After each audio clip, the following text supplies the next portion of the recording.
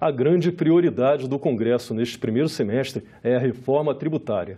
Como essa mudança vai impactar no comércio exterior brasileiro, já que estamos num processo de alinhamento aos Estados Unidos, indefinação na relação com vizinhos como a Argentina e ratificação do acordo entre Mercosul e União Europeia.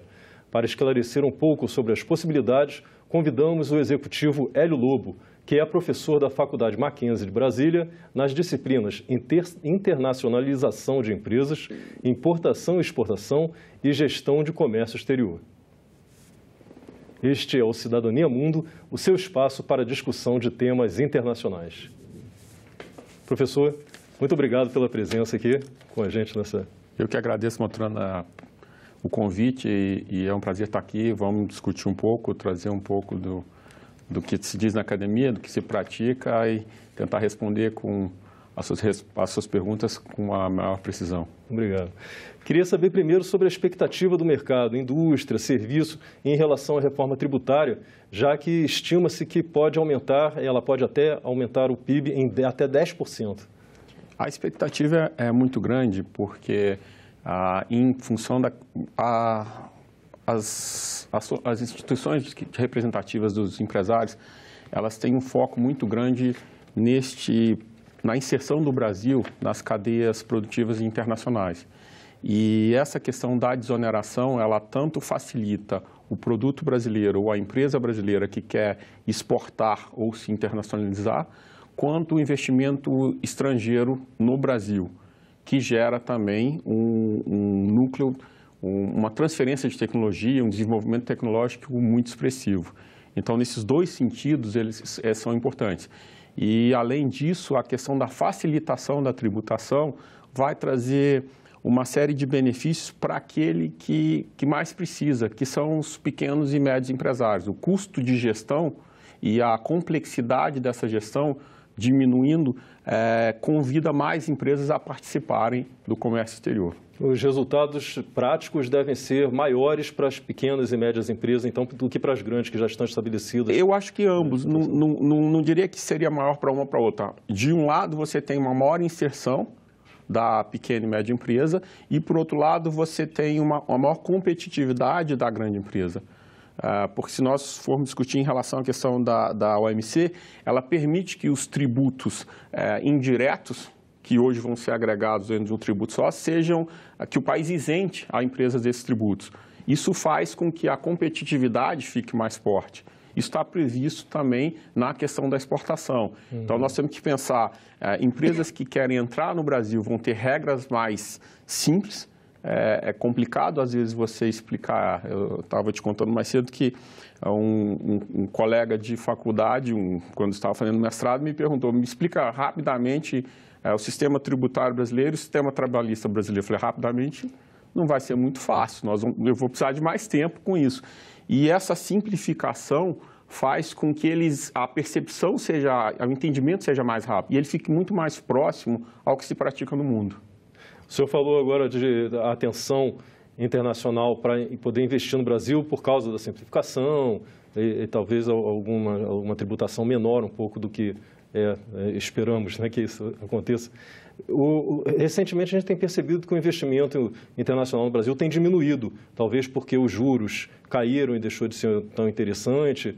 E, e isso pode se reverter agora com a expectativa de aprovação da reforma tributária? Eu acho que tem dois aspectos. O primeiro aspecto é que, no momento de turbulência, os investimentos são, são colocados em hold. Espera, vamos ver o que vai acontecer. Com essa questão de, de um início de a discussão de uma crise mundial, se haveria ou não uma recessão, isso seria um caminho natural. Ah, tem os, os, fatores de impacto imediato, como, por exemplo, agora a questão do, do coronavírus. Então, isso tem uma, uma, também um aspecto, vamos entender onde vai chegar. Agora, se você pensar, por exemplo, vamos, hoje a carga tributária brasileira está em torno de 35%, certo? Ah, essa desoneração pode atingir dos impostos indiretos 19%. Então, a, para a exportação, isso passa a ser competitivo a nível dos Estados Unidos. Os Estados Unidos têm aí é, 16%. Uhum. México tem menos, né? tem mais ou menos, né? também próximo dessa faixa. Então, dependendo da, dessa, do, do que se desonerar nesses esses tributos indiretos, e nessa simplificação, ah, você coloca o Brasil para competir de igual para igual. Porque o custo do Brasil ele tem duas partes. Um aspecto que não vai ser abrangido, que é a questão de, de, infraestrutura, de logística, que isso, a geração de investimento também vai atacar essa segunda parte. E tem a primeira parte, que é o, o, a, a desoneração direta. Uhum. Tá? O segundo ponto, a, a, CNI trabalha muito com a questão também de, de, eh, de, de ressarcimento dos créditos. E, um modelo que isso, isso, acho que ainda não está na discussão, mas vai assim que tiver que é, regulamentar a, a, a esses pontos da, da reforma tributária. A gente pode já imaginar algum setor ou até a área, a região do Brasil também, além de, de, do, do, setor na, na, atividade econômica, também há uma região do Brasil que pode ser mais ou menos beneficiada pela reforma tributária. Por exemplo, se a gente comparar São Paulo, que é o mais desenvolvido tal, com uma região mais, mais in, no interior é, eu acho que, vamos lá, na, na, nas concentrações, é, eu não consigo perceber imediatamente um setor que seria beneficiado direto. Por exemplo, outro ponto que a CNI discute é a, é a, redução do imposto de importação de serviço. Porque o imposto de importação, a Fiesp também fala sobre isso, o imposto de importação de serviço ele pode significar até 50%, 40% de alguns custos.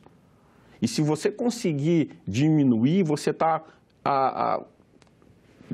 possibilitando uma, uma capacidade de competição maior. Tá? Uhum. Então, é, o, as empresas com maior valor agregado, elas têm uma carga tributária maior no efeito em cascata. Então, essas empresas podem ser mais beneficiadas, certo? Em relação ao agronegócio, é, já existe uma isenção de, de grande parte, então não ficaria mais a facilitação para as próprias empresas, é, ela, ela deve também incentivar investimento. Incentivando investimento, você tem as empresas voltando a, muito forte para o comércio internacional, que é, principalmente o agronegócio está bem aquecido. Sim, e agora, além de aquecido, animado com a expectativa por causa do acordo eh, entre Mercosul e União Europeia, que ainda está sendo votado nos parlamentos todos de, dos países, né, de, de todos os países participantes lá na Europa e, e aqui na nossa América do Sul. É, como que isso pode também se pegar eh, junto essa reforma tributária e a implantação do acordo, quando ele finalmente passar a valer? Pois é, esse é um ponto importante. Por exemplo, essa, essa, esse acordo ele vai possibilitar parcerias maiores de empresas de nível médio. Então, de pequenas e médias empresas, elas podem e vão ser é, maiores beneficiárias nesse acordo. Você tem que imaginar que a internacionalização de empresa, ela não é só exportação e importação, ela também é em questão da competitividade do, do, da empresa no, no, brasileira no mercado interno. Uhum. Tá? Então, você pegar, te dar um exemplo disso. A, a China, a, a comprou a Volvo não para vender Volvo no mundo, mas para ficar mais competitiva com a marca Volvo no mercado interno. E ela se tornou mais competitiva. Então, se você pensar nas médias e pequenas empresas brasileiras, elas podem achar pares europeus com essa facilitação, com essa redução é, não só. Você vê que você tá, nós estamos falando de duas coisas importantes. Uma, nós vamos ter uma simplificação da, da carga tributária. Segundo, nós vamos ter um acordo de cooperação que reduz as alíquotas também.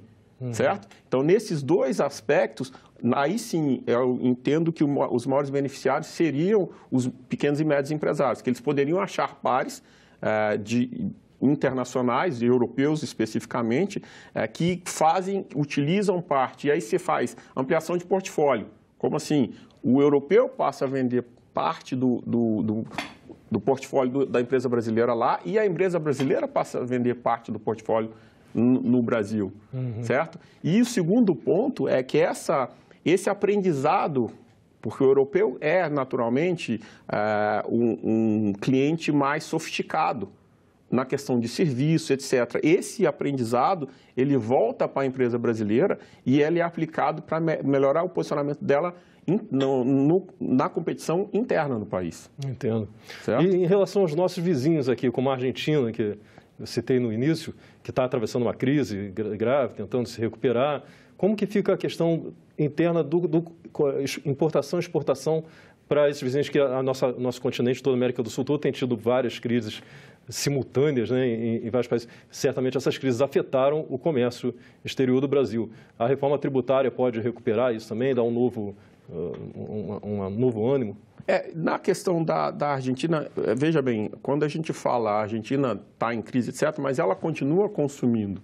E, e com o desenvolvimento e, e uma maior competitividade da empresa brasileira, por exemplo, o europeu que faz uma parceria, como eu estou colocando uma empresa pequena, essa empresa passa a poder atender também o mercado argentino, certo? Então, tem aí, o ruim é que eles passam, a, a questão do câmbio, porque na crise há desvalorização, isso, isso cria é, uma barreira momentânea. Uhum. Mas a estabil... o ideal seria que é, a Argentina voltasse no, nos padrões normais de, de, negociação, porque aí sim é, você tem uma competição mais justa.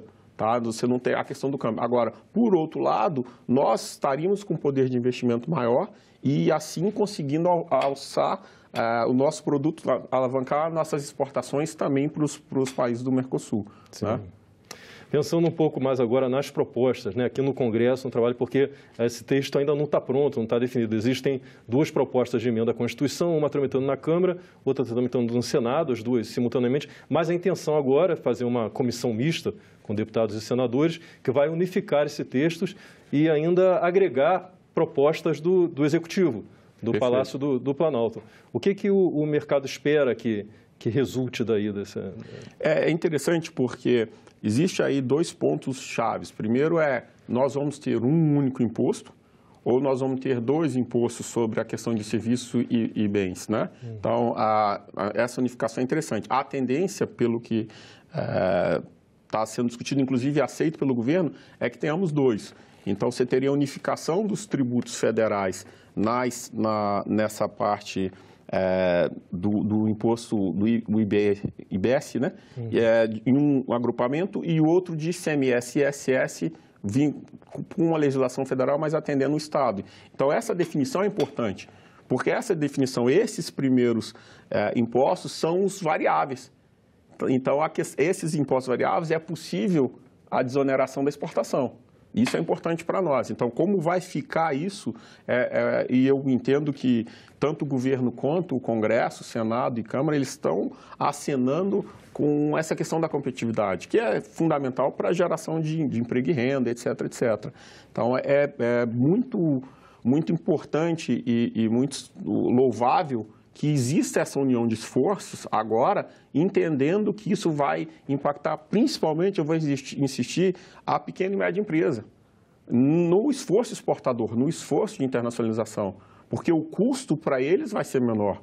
Uhum. Entendeu? Imagina se as grandes empresas já estão reclamando de não conseguirem a, o ressarcimento desse crédito, o pequeno empresário, então, ele largou, né? Não, não, não vai tentar isso com facilidade, a não ser que seja uma pessoa muito organizada e que tenha uma estrutura de, de jurídica e de, de, consultoria jurídica contábil muito forte. Como se fosse uma grande empresa. É, e aí este custo é alto. Uhum. Entendeu? Então, é, isso, o impacto disso, de uma forma geral, é além da maior competitividade interna, a questão de nós podemos fazer parcerias com mais clareza e, principalmente, as empresas brasileiras estarem mais fortes para a competição deste acordo. Porque nós temos que pensar que o acordo, por exemplo, com a União Europeia, vai fazer com que os europeus entrem aqui também. Uhum. E eles vão competir com os empresários brasileiros. Sim. Se eles têm um, um, sistema tributário é, mais, é, vamos colocar assim, favorável,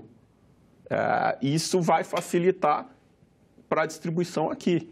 Entendeu? Então, e essa competição ela passa a ficar, o custo Brasil nessa parte de tributos passa a ser muito forte. É importante, além dessa questão da desoneração, da simplificação de todos esses tantos tributos que a gente tem, o texto final da reforma tributária tenha também artigos específicos sobre comércio exterior? Seria importante conseguir a isenção, se for possível, desses tributos que a OMC permite. Uhum. Tá? Ah, por quê? Porque uh, nesse sentido você tem algumas empresas internacionais, uh, multinacionais, internacionais, como queiram, uh, que já têm a base no Brasil, mas ela tem um problema de compliance com a sede. Então, praticar alguma coisa que afete, ela pode ser punida na sede. Nós temos uhum. que lembrar disso certo? Então, se isso tiver e a desoneração acontecer já nessa, eu não sei se vai acontecer direto, eu, eu tinha visto que a parte de, de, isenção de impostos para exportação, ela está ela está colocada, certo? Agora, se isso acontecer na, na ou no, no, próprio, na própria reforma ou na, na regulamentação da reforma, facilita também para essas empresas. Então é importante. E aí o que acontece? A empresa, bom, então agora eu posso investir mais, aumentar a minha produção, porque isso está desonerando. E isso tem um efeito em cadeia, entendeu? Na própria competição e etc. Sim.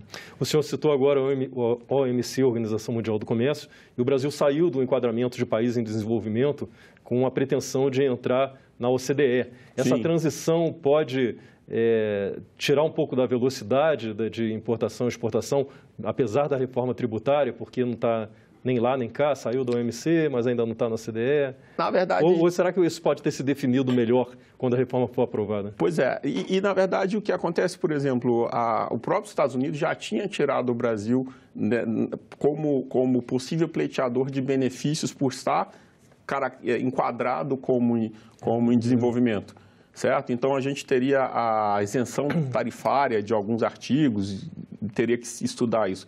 É, o, nisso, isso afeta um pouco a, a, competitividade, de um lado, mas em compensação você tem um, um, um upgrade na questão do, de, de grau de investimento. Então, isso pode gerar novos investimentos que nós não estávamos tendo até então. Sim. Então, empresas como empresas brasileiras que estão buscando investimento, elas passam a, a ter acesso a, a créditos é, que, que até então elas não poderiam ter. Então, nós temos aí, tem que pesar os benefícios, mas eu acredito que era um caminho natural. Nós não teríamos como nos mantermos entre as 10 maiores economias do mundo numa condição de, de diferenciada de subdesenvolvimento em alguns aspectos, entendeu? O país em desenvolvimento nesses aspectos. Então, de uma forma geral, ah, isso também força o amadurecimento do empresário, do empresariado brasileiro como um todo. Então, uhum. nós passamos a competir com, nesse início, um pouco mais de dificuldade, mas a gente tem que suplantar essa dificuldade. Um pouco depois do, do, do, que foi fechado esse acordo Mercosul-União Europeia, se falou muito também em acordo bilateral direto Brasil-Estados Unidos. É, ultimamente não teve muito mais conclusão desse, dessa negociação, assim. Tem alguma perspectiva disso? E Brasil e Japão também, né? Também. Porque tem que pensar o seguinte, vamos pegar o caso do Japão. Ah, vai afetar diretamente a exportação da indústria automobilística japonesa para o Brasil, porque o, o, o, produto europeu ele vai ter isenção. Uhum. Então, isso força é, com que o Japão corra atrás. E, e, por consequência, outros países que, que estão nessa questão, eles virão para essa discussão. É, então, ele tem um efeito cascata muito positivo. E, e, a partir do... Porque o, o, nós temos que entender o seguinte, é, a, a, expressão antiga, não tem lanche de graça. Uhum. Então, se não tem almoço de graça, né? É, o lanche é no termo americano. Uh, esse, esse, isso vai ser cobrado de uma forma ou de outra. A partir do momento que a indústria automobilística japonesa e europeia comecem a disputar sobre isso, os outros concorrentes mundiais vão querer também essa isenção. Uhum. E para isso, isso coloca o, o, poder, o, o, governo brasileiro num poder de negociação muito, muito favorável. Entendeu? Então, isso nos coloca em, na, nessa, nessa condição mais favorável. Como é que vai ficar o Chile nessa história? Entendeu? Então, nós temos aí alguns parceiros que nós podemos acabar é, fortalecendo essa questão de, de acordos comerciais. O problema é que nesse acordo individual tem que ver como é que vai ser, porque tem sempre a trava do Mercosul. Uhum. E, embora a Argentina nem sempre respeite, mas é, nós temos, isso, esse é um... É, eu acredito que é um fator muito positivo e que coloca o Brasil numa condição hoje que nós não tínhamos há poucos anos atrás. Sim. Recentemente, no fim do ano passado, a gente teve o um encontro do BRICS aqui, Isso. que inclui a China, que é um, um poder econômico fenomenal, a Índia, que também está tá muito forte, mas apesar não é um bloco econômico propriamente dito, como, como o Mercosul. A reforma tributária também pode afetar no relacionamento comercial com esses parceiros, vamos chamar assim? Eu, eu acredito que sim, até porque, ah, vamos pensar, a, a China, embora comunista, ela é um, hoje uma, uma, uma economia absolutamente de mercado, em, em, alguns aspectos. Então, no que interessa ao chinês, isso vai acontecer. Uhum. E com essa possibilidade de uma maior parceria com os outros países, existe essa questão da China. Hoje, o, uma grande parte da exportação brasileira está vinculada à questão de, de agronegócio e está vinculada à exportação para a China, uhum. certo? Então, é, e existe a, a, a, questão do banco de desenvolvimento. Então, você tem aí uns, alguns fundos, a, a, a Câmara Brasil, a China é uma câmara importante e ela está sendo agora estruturada com instrumentos para fortalecer essa aproximação. E eu estou falando absolutamente da área comercial.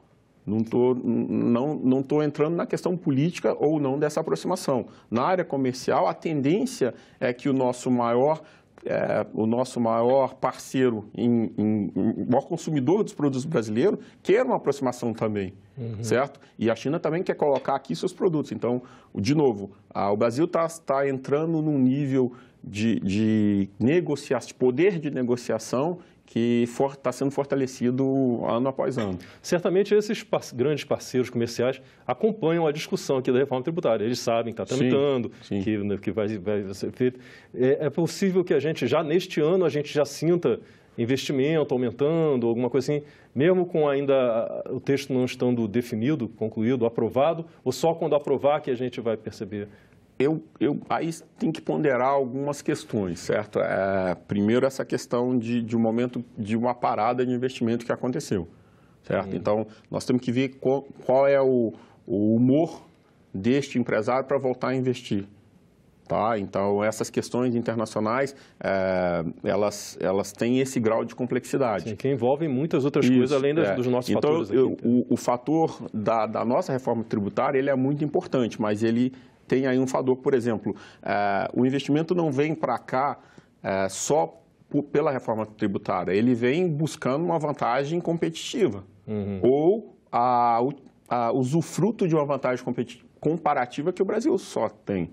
Sim. Então, nessa questão do agronegócio, essa parceria ela tem que acontecer. O, o, os, os, árabes já falavam muito disso quando houve a questão da elevação do preço do, do, é, do frango certo? E, e, algumas marcas brasileiras, elas dominam a Sadia, por exemplo, a, é quase uma share, você fala de frango, você fala de Sadia, então uhum. você tem aí um, um, um, reconhecimento muito forte, principalmente na Arábia Saudita. É, quando houve elevação de preço por causa do, do consumo, o árabe estava falando em trazer investimento do Fundo de Segurança Alimentar uhum. para fazer investimento em empresas brasileiras para garantir que a exportação considere Catar, entendeu? Considere o país deles como preferência na hora de exportação uhum. e não simplesmente uma questão comercial. Então, nós temos aí vários aspectos em relação a essa questão. Isso, isso independe da reforma tributária, é, garantir a segurança alimentar. Uhum. Claro que com a reforma tributária, essa intenção de investimento ela pode ser potencializada. Como é hoje o é, importação, os impostos de importação e de exportação e como deve ficar com a, com a reforma tributária? Eu, eu, nós temos que ver qual é o desdobramento que nós estamos conversando agora. Primeiro, se entrar no texto da reforma essa questão da isenção direta, ou ela vai partir para, para a parte de regulamentação. Hum. Tá? Então, esse é um aspecto. Em relação à questão dos, dos impostos é, de importação, tem que fazer, eu tenho que fazer um estudo mais detalhado sobre qual seria o impacto em relação a isso. Mas a própria desoneração ela pode trazer é, uma, uma, Não existe a, a, o pensamento na questão, eu não, eu não li ainda a respeito de como é que, qual, é, qual seria o, o reflexo na, nos impostos de importação. Uhum. Tá? Agora, os acordos comerciais, nesse sentido, são mais importantes do que a própria reforma tributária. Sim. Tá? Tá certo. Professor, infelizmente o nosso tempo se esgotou já, mas muito obrigado aqui pelos esclarecimentos e de, de forma tão direta assim. Te um agradeço. Assunto, um assunto tão complexo, é. mas esclarecer de forma tão, tão fácil para a gente. E te agradeço muito e, e é, é, eu acho importante, de novo, este momento, nós estamos entrando em um dos melhores momentos nessa posição de negociação do Brasil. Uhum. E essa discussão que está sendo trazida e está sendo trazida pelo Congresso e agora com essa inserção da, da, proposta do governo, ela vai ser muito favorável e, insisto, eu percebo que as, as pequenas e médias empresas vão poder começar a usufruir deste, do, do caminho da internacionalização, não só exportando, como importando ou estabelecendo parcerias. Tá certo. certo? Então, fico feliz e uh, vamos torcer agora para que isso seja conduzido no, no, no Congresso com, com, muita leveza. É o que todos esperamos. É, muito obrigado, obrigado, muito obrigado pelo convite. Obrigado. Se você quiser rever, baixar ou compartilhar o link desse programa, é só acessar a nossa página na internet, senado.leg.br/tv, ou então visitar o canal da TV Senado no YouTube. E se você quiser fazer algum comentário, crítica ou sugestão, pode telefonar para 0800 61 2211. A ligação é gratuita. Obrigado pela atenção e até o próximo Cidadania Mundo.